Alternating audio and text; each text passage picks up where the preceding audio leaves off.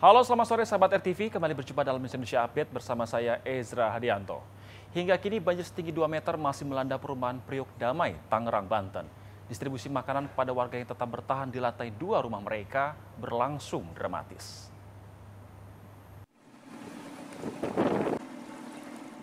Satu persatu rumah warga di perumahan Priuk Damai, Priuk, Tangerang, Banten ditelusuri untuk mengetahui apakah ada warga yang masih bertahan atau tidak. Warga yang bertahan di lantai dua rumah mereka langsung diberikan makanan untuk mengurangi beban. Petugas pun harus berhati-hati karena ketinggian air di perumahan ini masih mencapai 2 meter.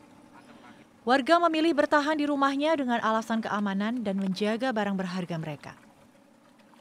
Ini sudah kita dirikan dari hari pertama ya, tiga pilar ada di sini. Uh, produksinya 4.500 bungkus uh, yang kita berikan kepada warga yang terdampak yang dari pengungsi ya, itu seperti itu. Dapur umum milik petugas telah didirikan untuk terus mendistribusikan makanan kepada warga yang mengungsi maupun bertahan di rumahnya. Dari 3.600 jiwa warga yang terdampak banjir, 133 warga kini mulai menderita beragam penyakit akibat banjir.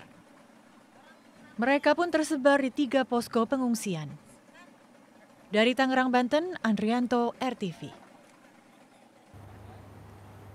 Demikian Lensa Indonesia Update kali ini, kami kembali mengajak kamu untuk selalu menerapkan 3M, caranya gunakan masker dengan benar, selalu menjaga jarak dan pastinya jangan lupa mencuci tangan dengan sabun di air mengalir. Saya Ezra Dianto, kami kembali dengan informasi lainnya dua jam mendatang. Sampai jumpa.